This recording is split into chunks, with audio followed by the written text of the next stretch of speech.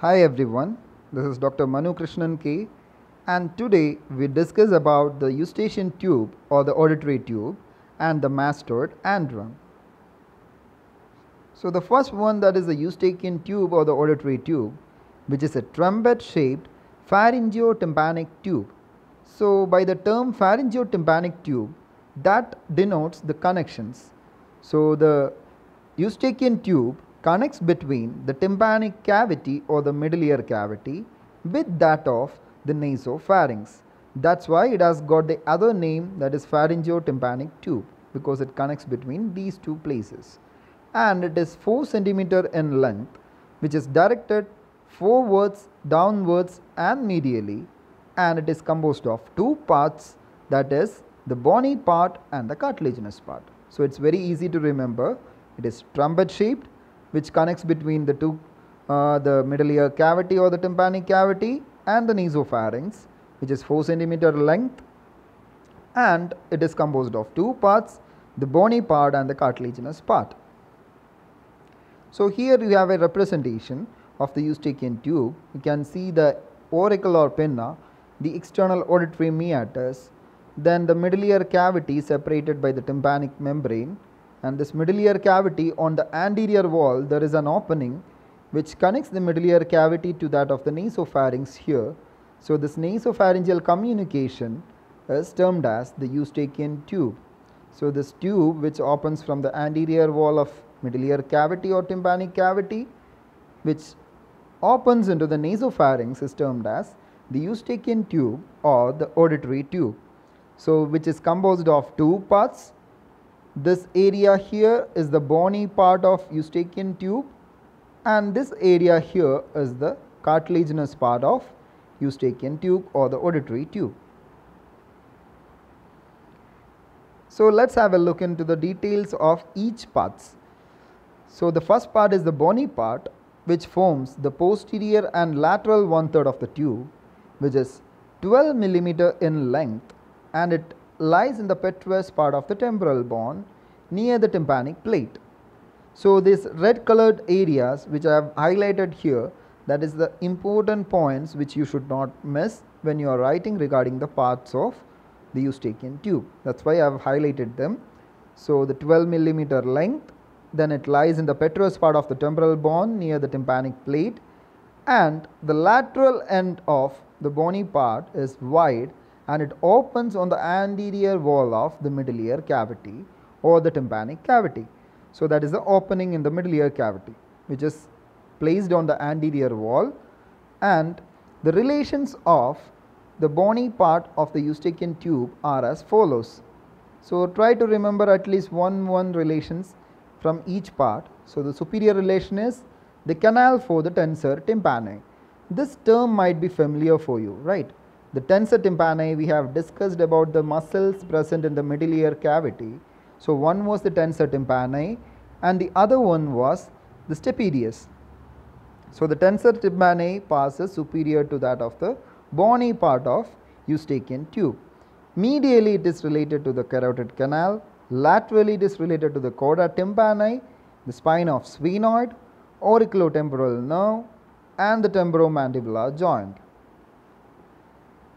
The second part is the cartilaginous part and it forms the anterior and medial two third of the tube which is 25 millimeter in length and it lies in the sulcus tubae. So the term sulcus means a groove. So the sulcus tubae is nothing but a groove between the greater wing of the sphenoid and the apex of the petrous temporal bone. And this sulcus tubae is the groove in which the eustachian tube, the cartilaginous part, is lying.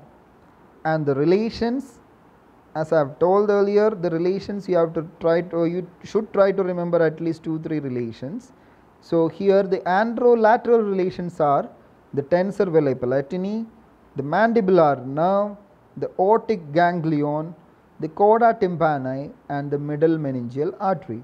So these are the anterolateral relations while the posteromedial relations are the petrous temporal, the levator veli palatini. So try to remember at least four of these relations so that you can easily write down for your exams. So these headings are very important when you are writing an exam. So try to just arrange your answers in a proper pattern. So it has to be classified into separate headings and it has to be managed properly. So here this is about the cartilaginous part of eustachian tube and we'll have a look into the arterial supply that is the ascending pharyngeal and the middle meningeal arteries will be supplying the eustachian tube while the venous drainage is through the pharyngeal and the pterygoid plexuses and the lymphatics is to the retropharyngeal nodes and the nerve supply the two parts are supplied separately. The bony part is supplied by the glossopharyngeal nerve while the cartilaginous part is supplied by nervus spinosus which is a branch of the mandibular nerve. So this is about the eustachian tube. So let's have a look into the functions of the eustachian tube. So the first function is that provides communication for the middle ear cavity with the exterior environment. So it provides a communication. So the middle ear cavity is a closed space which is having a small opening which gives an external communication that is the auditory tube.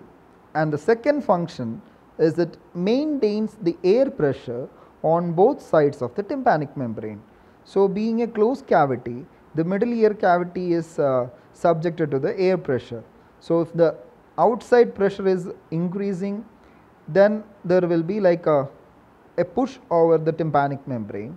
So to maintain the internal pressure within the middle ear cavity, so once the auditory tube is open, that pressure will be balanced on the internal part of the middle ear cavity as well as the external auditory canal. So that pressure difference will be maintained properly by the opening of eustachian tube. So that is the second function and usually the tube is closed. So but sometimes it opens during the swallowing, yawning, sneezing and by the action of the tensor and levator veli palatini muscles. So, by the action of these muscles during these movements the auditory tube or the eustachian tube will be opening and that is how it maintains the air pressure and that is how it maintains the communication. So, this is about the eustachian tube we are concluding here with the functions. So, I think I hope you remember about the eustachian tube where it is placed and what is the shape the trumpet shaped and which is uh, like having two parts the bony part and the cartilaginous part and we have discussed about the parts and uh, its relations and we have covered the functions now. So let's move on to the next topic that is the mastoid antrum. So the tympanic or mastoid antrum it is a small circular air filled space which is situated in the posterior part of the petrous temporal bone. So, in the petrous temporal bone itself, there is a small circular air filled spaces and that is in the uh, like shape of a small pea which is 1 centimeter in diameter and the mastoid antrum communicates with the epitympanic recess of middle ear cavity through the aditus opening. So, while discussing the middle ear cavity or tympanic cavity, we have told about the separate areas, the epitympanic recess, then the mesotympanum, hypotympanum, all these things we have discussed in the previous classes. So, the mastoid antrum that is a small circular air filled space is communicating with the epitympanic recess through a small opening called as the aditus which is present on the posterior wall of tympanic cavity or the middle ear cavity. So, this is the representation of the tympanic or mastoid antrum. So, here you can see it is a cross sectional image where you can see the bony covering and here you can see small circular air cells. So, this area which is a small circular air filled space is termed as the mastoid antrum and the mastoid antrum is opening into the middle ear cavity to the posterior wall through this opening that is the aditus. So, the mastoid antrum which opens into the middle ear cavity on the posterior wall through the aditus opening and here what I have represented is external auditory canal. Let us keep it like that itself.